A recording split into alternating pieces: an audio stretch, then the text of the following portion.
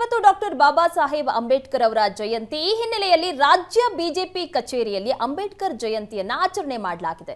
ಅಂಬೇಡ್ಕರ್ ಭಾವಚಿತ್ರಕ್ಕೆ ವಿಜಯೇಂದ್ರ ಅವರು ಪುಷ್ಪಾರ್ಚನೆ ಮಾಡಿದ್ದಾರೆ. ಅಂಬೇಡ್ಕರ್ ಭಾವಚಿತ್ರಕ್ಕೆ ಪುಷ್ಪಾರ್ಚನೆ ಮಾಡೋ ಮೂಲಕ ನಮನ ಸಲ್ಲಿಕೆ ಮಾಡಲಾಗಿದೆ.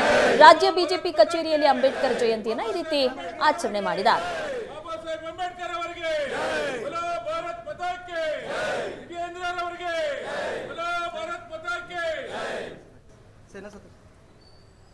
ಇದು